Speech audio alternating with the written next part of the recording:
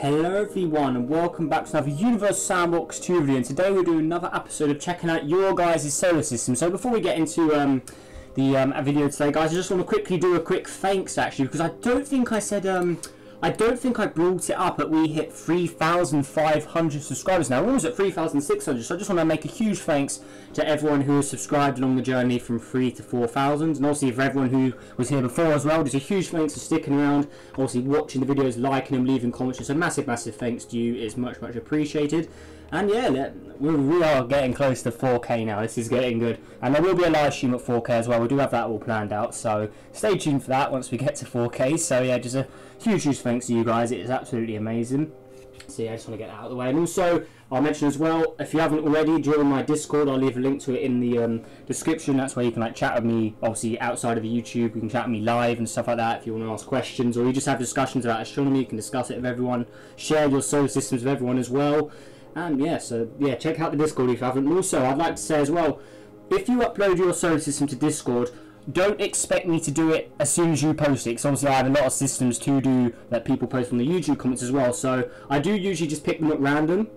So yeah please keep that in mind as well. So if you upload one you haven't and I never do it just upload it again and let me know saying this was done a while ago and then I will try and get around to doing it at some point so yeah just keep that in mind please guys just to keep things organized but yeah anyway today we are checking out a system called Super Solar and it's from the user um, Wishenshaft Nismor's IP. I'm really sorry if I'm saying your name wrong. I think I've done one of your systems before. I'm pretty sure I have. I'll leave a link to um, him down below in the description as well, guys, like always. So let's get into this. Now, from the picture here, this is it, Super Solar. Looks like there is a very, very high amount of objects in here. So let's see what we got today. So this could be... Oh my god. Okay. Yeah, that's quite a lot. It's not as big as last episode with Goomba's system, but it may have more objects. I don't know. Let's see how many are in here. Okay, 69. Okay, Goombas may have more, but still. That's quite a lot. I'm assuming a lot of these are just asteroids, but I never know. I don't know. So let's see what we um got today. So here is our star. Looks like a red dwarf, actually. Okay, not many of you guys do red dwarfs. Yeah, I think this is a red dwarf. So we'll get a comparison with the Sun and Proxima Centauri here. So there is the there's the Sun. Yeah, it's definitely a red dwarf. Then Proxima is there. So it's a relatively, it's more of a larger red dwarf. But yeah, it's definitely a red dwarf. because It's not an orange dwarf. Because an orange dwarf is sort of this size, like Alpha Centauri B here. So yeah, here is our main star. And its luminosity is 0.02. So 2% the brightness of the Sun. So very, very dim, as you can see here. So, oh, we actually have an Earth here. Hello. Frozen Earth. Oh, let's have a look here. Whoa. So this one's all been blacked out. So it looks like this was turned to a gas giant at one point and that's why it's got um, all of the black surface. But the climate mode on it, climate mode switched on, so it makes all of the ice appear. That's quite a cool looking Earth with the black sort of surface. If we turn that off, that's what it actually looks like. But if we turn it on again, obviously the black surface is visible with the snow. That's a very cool looking Earth, I have to say. Nice black and white theme going on there. It's obviously minus 31 degrees. How far are we from the star? We can't be that far. Probably closer than the orbit of Mercury, I have to say. So, yeah, it only takes 36 days. This is closer than what Mercury is to the Sun. So there's that.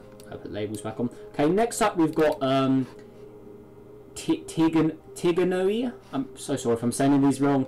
Um, so we've got this one here. Ooh, it's freezing up. Okay, I'm guessing this one's got different seasons. It's got like an ice age season, and then when it gets closer to the star again, it warms up. So as you can see, it does get closer to the star and cuts in Earth's orbits. Maybe these two would get quite close and their orbits would change. Maybe like here, for instance, they're going to affect each other in any way.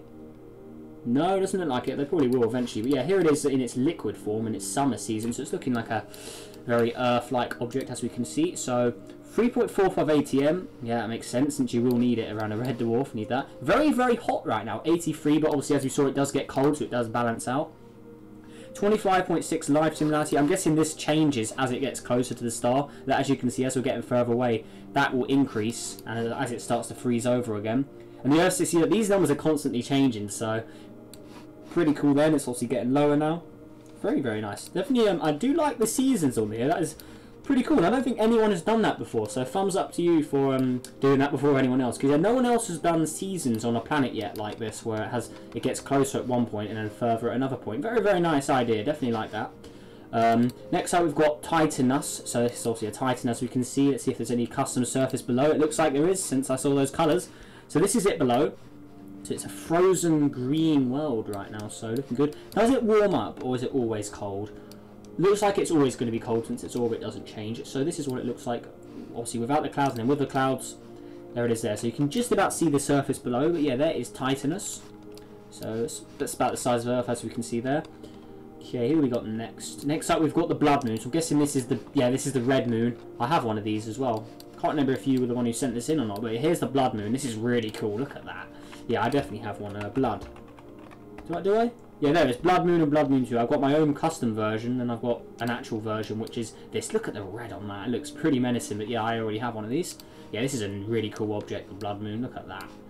It would be cool as well if we got this object modded to have it with a red atmosphere. That could look quite interesting. Yeah, there's a um, there's an idea for you modders out there. Make like a Blood Moon with a red atmosphere. That could look quite interesting. Um, yeah, so there's the Blood Moon. Uh, next up we've got um, Olapi, so this is just a, um, a little tiny object, so we don't need to zoom in on any of these. Then we've got, of course, um, oh no, it's not Nus it's actually just Nuska S. I'm guessing maybe cut some of the letters off there, but yeah, there's that. So I'm guessing all of these are asteroids. I will try and click on as many as I can, but I'm assuming these are all asteroids. So he sort of made his own little asteroid belt here. That's quite cool. So I'm I am assuming these are all asteroids. So we'll just try and click on pretty much every single one. It looks like they are all asteroids here. Very big ring though. It's probably the closest amount of objects we've seen in the subscriber system so far. And I think, what episode is this now? I think this is, let me have a look quick. Um, I actually don't know. Um, this is episode 26 now. Wow. 26 systems you guys are sent in now. Here's a planet. So here's one. So it's an Earth-sized object, two times the mass. It's getting very dim here, as you can see. It's not much light. Um, let's check how far it is from the star.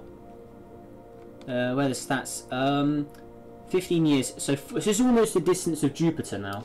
4.48 AU, 15 years. So almost around Jupiter distance. Okay, there's a lot of objects, but I'm just seeing... Looks like most of these are just little asteroids though, but there is a hidden planet in there, which we discovered. Okay, so I think that could be it. Is there any more...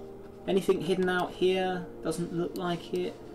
Okay, so I think that is the whole of the... Um, yeah, the super solar system. I think that's what I. That ring is pretty crazy, and then there's our red dwarf in the middle there. So yeah, I think that is everything. We'll... oh, what's that over there? How far? Oh, it's a glitched out. That's glitched out. Look, where where are we right now? Look at that. It's just stuck on my super glued to my screen. That number there. This took us to Fallet. Okay, pretty cool stuff. Let's just see if there's any more. Okay, I think that's everything. So let's get a lineup here of all the objects. Okay, here we go. So here's our lineup. Now I've got to say this one here out of the ones I've seen, this one is definitely my favourite. I love how the seasons on it change from obviously um, very very hot to 80 degrees and then it goes all the way to minus 41 as we can see here. I really like the seasons on that, that's definitely cool. Uh, yeah, so it looks like, yeah, we've seen all of the big objects, then we just got literally hundreds, or not hundreds, but yeah, we've got loads and loads of little asteroids. Let's um, see if there's any hidden objects at the very bottom. So I know some of you guys do like to hide little objects in, but no, it looks like there's no hidden object in here, so there it is. So it's a nice little system, I have to say. Definitely very cool. Yeah, but I really, really like this song. This is definitely my favourite there. That That is cool. So let's just zoom out. Let's get another look at it here. So let's um, watch it warm up again. Speed up time. Here we go. And this system actually runs as well, which is quite cool. So any second now, you're going to warm up. Yeah, the temperature's going down. And it's going to melt, as we can see, any second. And there you go. So it's all melted down again. Ah, oh, that is cool. 17th, and that's warming up again past the temperature of Earth. And yeah, now it's getting really, really hot. Yeah, that is cool. I really like this object. So let's check its similarity at about 6 degrees. Any... See, it goes higher at 89, then it will obviously cool down again when it, or it will, the number will go down when it freezes over. But yeah, that is definitely my favourite object, just because of the way it acts with the seasons. That is really, really cool. So definitely a thumbs up for that. That is cool.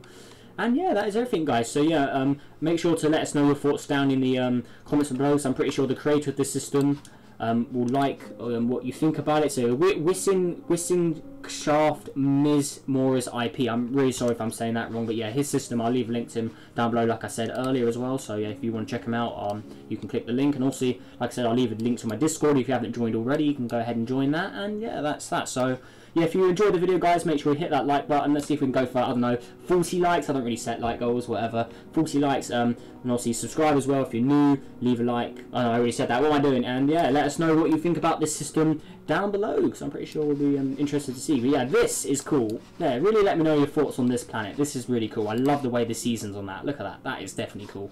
Really, really like that. So it's like the Earth that faces the two extremes, too hot or too cold. So it's like a um, Earth, but with a bit of Mars and Venus in it, where it gets really hot and then really cold. That is very cool. I really like that. So yeah, that is everything, guys. So make sure you all have a great day, and I'll see you in the next video. Goodbye.